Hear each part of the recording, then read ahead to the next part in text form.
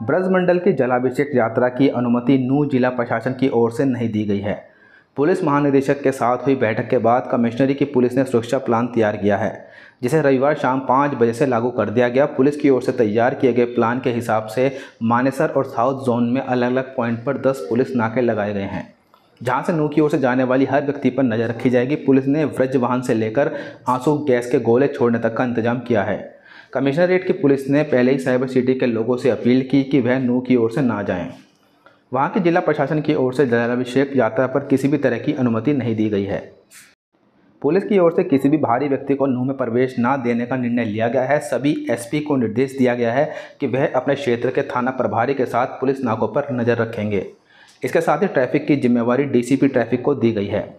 किसी भी शरारती तत्व की ओर से धार्मिक स्थलों को निशाना ना बनाया जाए, इसके लिए शहर के सभी धार्मिक स्थलों पर पर्याप्त संख्या में पुलिस बल तैनात किया गया है।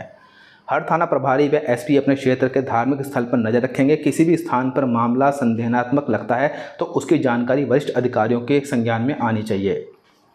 सावन के आखिरी सोमवार को सर्व हिंदू समाज की ओर से निकलने वाली जलाभिषेक यात्रा अब नून नहीं जाएगी, जिसके चलते लोगों को गुरुग्राम के प्राचीन बाबा प्रकाशपुरी मंदिर में जलाभिषेक करने के लिए कहा गया है। यहाँ पर सुबह 10 बजे से 11 बजे तक का समय तय किया गया। वेस्ट जोन से पुलिस बल यहाँ पर तैनात की गई है। बजगेड़ा व राजेंद्रा पार्क थाने का पुलिस बल यहाँ पर मौजूद रहेगा।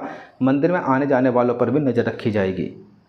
ऐसे वीडियोज़ के लिए वीडियो को लाइक, शेयर, चैनल को सब्सक्राइब ज़रूर करें। धन्यवाद।